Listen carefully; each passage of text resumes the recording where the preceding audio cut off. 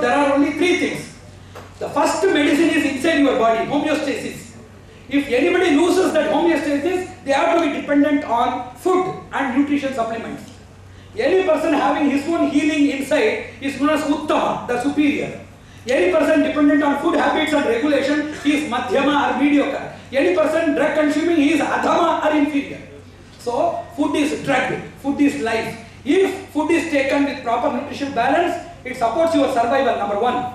If it is taken with extra supplementary nutrition, it is a drug, it saves you from diseases. If it is taken after divine offering, it is prasada that gives you knowledge, that gives you realization, devotion, dedication and liberation. So food is everything. That's why we say Annam Brahma.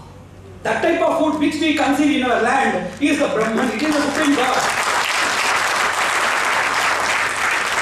That lot of people, they used to mix their drugs. Even poison it be mixed with food and it has been given in lovely royal stories. You must have heard of these things. So, that is mind controlled drugs, mind diverting drugs, poisonous drugs, innumerable things we have seen them being mixed and given in royal banquets. Likewise, we can give a spiritual feast in which knowledge is mixed, truth is mixed, honesty is mixed, service orientedness is mixed in the prasad and distributed to each and everybody in their homes, in congregations and festivals. So food is everything. So three major divisions of the socio-cybernetics. First we should contemplate on food, food quality development, food internal quality development, food productivity, food distribution, food analytical study, nutritional vigilance and proper guidance, and a system of food security that should be developed, number one. Number two, pollution control. We must try to implant knowledge in restricting future pollutions, in subsidizing the already available contribution I told in the seminar for 400 billion tons of carbon dioxide is the contribution of the industrial revolution to the globe. Likewise, we have to mitigate the pollution and we have to, to totally extirpate the pollution impact that already we have contributed to our mother globe with a lot of gratitude and affinity and affection already. We have done the maximum possibility damage that we can do that we have to take care. Third thing is security.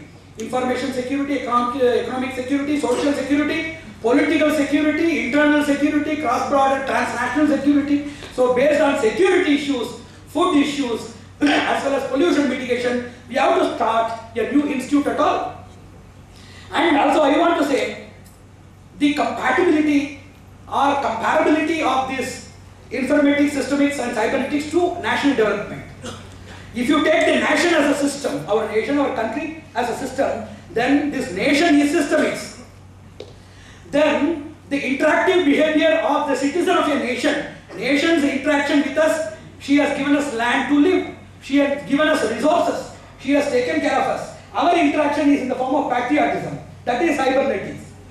Then informatics is the practical way of executing our patriotism by means of sincerity, one, systematization, number two, then service, number three, triple S. So, our nation is the system and our cybernetic, interactive, reflexive repayment or reimbursement of our gratitude is in the form of patriotism which should be shown by an informative way of uh, productive transmission through our sincerity, systematization and service. And this is what we call science. I have to give a new definition for science.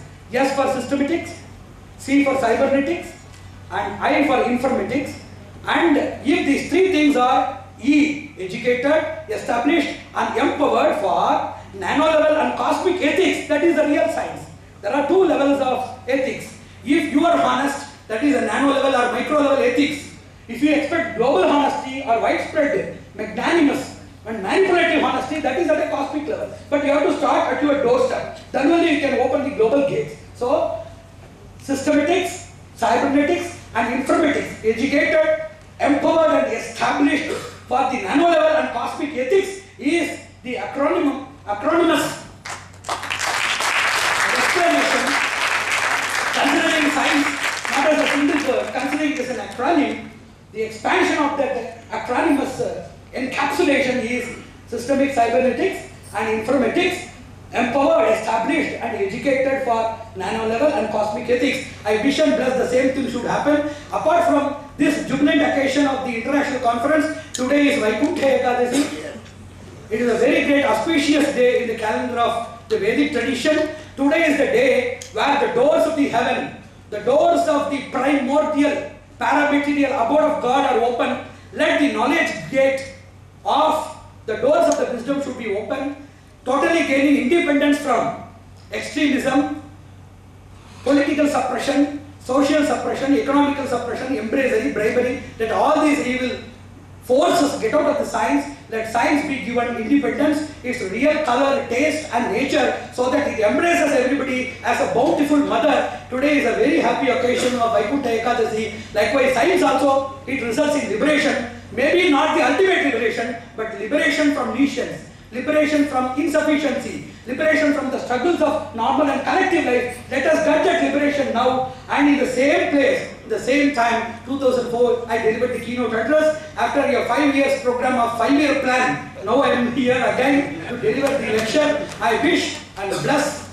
the institution, participants and the speakers a grand success provided with longevity and salubrity to do more for the evolution of socio cybernetic status in the society based on which all other evolutions, revolutions and renaissances they survive on. Narayan, Narayan, Narayan.